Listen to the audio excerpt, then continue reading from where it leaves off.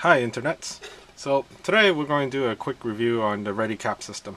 But before I go into that, I'll just show you quickly some of the other accessories I have used in the past. One of them was a cap with a string through it. Now this was okay, um, but the one annoyance I had was when you take off the cap, you're running around taking photos, you have it swinging, knocking over a place, making noise. Uh, not the best, very distracting.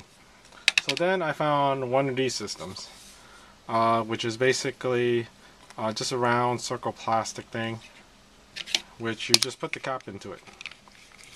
Which is similar to the ReadyCap system, but the problem with this is that um, you only could put it in straps, which you could take off. So there's no slit here, um, there's no way to undo this, so this is very inconvenient. And it's also quite large and big. So back to the ReadyCap. Now the ReadyCap is uh, mostly plastic.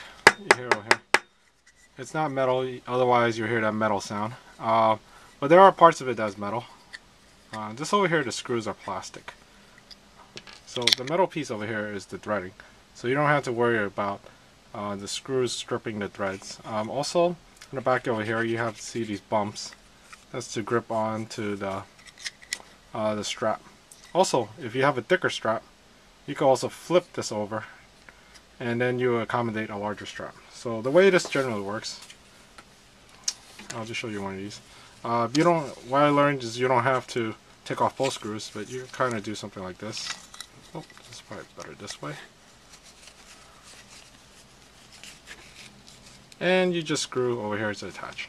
And then that's how you have the ReadyCap. Alright, so we'll go with this. Well now we'll talk about the system here. Um, they do sell rings, which you could purchase for $3.99. So the one I got over here is a 77. Uh, this is metal. So you basically just line it up and you screw in. The nice thing about this, um, the ring and the system itself, is that you could also attach filters. So you could have a large stack if you wanted to, but that might be too heavy, so maybe one or two would be great. So basically, after that, you can just take a regular old cap and presto. Easy, right? Doesn't fall off, it's pretty secure. So you can also unscrew this if you decide I'm going to shoot with a different lens.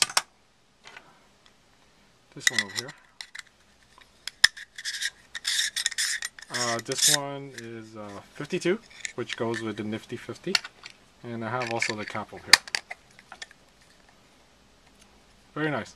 See, um, I'll provide links on the bottom down here, so then you could purchase this wonderful system. Uh, the prices may change uh, because on their website it said they were going to change the price after January 1st.